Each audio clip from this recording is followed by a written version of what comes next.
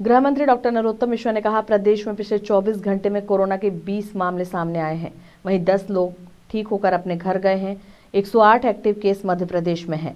संक्रमण दर शून्य दशमलव शून्य दो प्रतिशत है, जबकि रिकवरी रेट अंठानवे दशमलव छह प्रतिशत स्थिर बनी हुई है।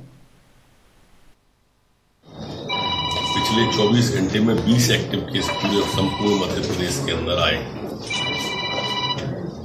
जबकि 10 लोग ठीक होकर अपने अपने घरों की ओर, गंतव्य की ओर गए। 108 एक्टिव केस मध्य प्रदेश के अंदर वर्तमान में है।